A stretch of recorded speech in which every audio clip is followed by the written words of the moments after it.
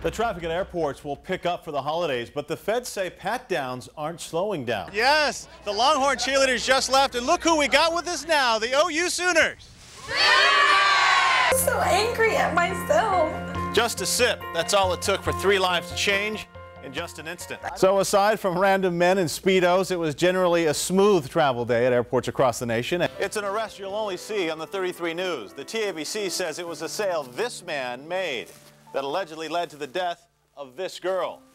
The alleged sale was this drink, Four Loco. Flip the list and look at the most dangerous or least safe cities. Dallas comes in at number 52, Fort Worth at 149, and Arlington at 169.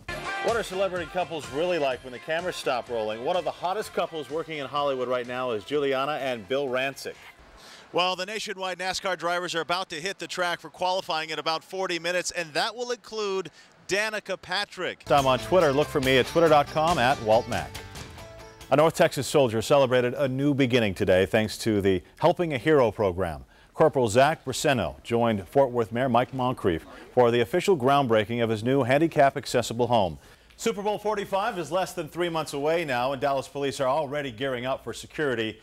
Meet Thor. The state-of-the-art mobile command center is a fully functional mobile command post with a dispatch center for local police. All right, think your girlfriend is hot or not, or could you do better? Well, just have your guy friends rate them online. You know that super cute picture you took of your children in the pumpkin patch? Well, we want it for the 33tv.com picture gallery contest.